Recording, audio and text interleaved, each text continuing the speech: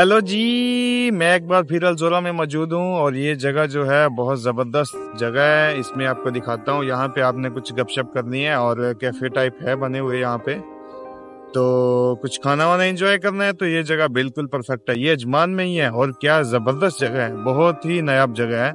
और यहाँ पे जो सफ़ेद सफ़ेद वाले हैं ना, क्या बोलते हैं उसको, बंगले बोलते हैं उर्दू में और बाकी लैंग्वेजेस का पता तो नहीं है। तो आप सर्च कर लीजिए वो भी बहुत है और इसके साथ साथ जो है वो ये कैफ़े बना हुआ है मेन रोड है मेन रोड के साथ बहुत ज़बरदस्त सा कैफ़े बना हुआ है। आ, मैं आपको इस वीडियो में दिखाता हूँ और उसके साथ उन्होंने जो है वो लेफ़्ट साइड में बैठने की जगह बनाई है और चेयर्स के इसके बिल्कुल नेक्स्ट जो है वो ज़बरदस्त ट्रीज लगे हुए हैं और एक नदी टाइप बनी हुई है समुद्र से।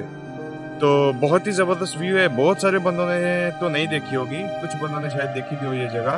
तो ये अजमान में ही है और ये जो मेन ये ई एलेवन इतिहार रोड है इसके ऊपर ही है।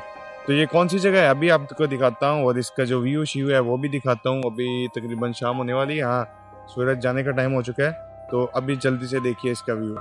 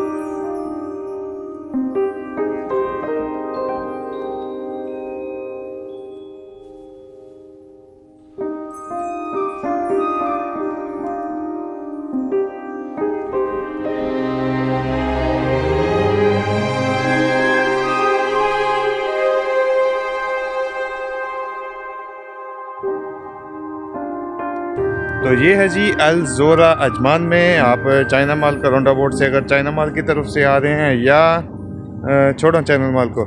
अगर आप मुल्किन की तरफ़ से अजमान को जा रहे हैं तो चाइना माल वाला रोंडा बोर्ड उससे आगे राइट लेंगे, पहला वाला राइट लेंगे, अंदर आ जाएँगे तो आप इस जगह पे पहुँच जाएँगे।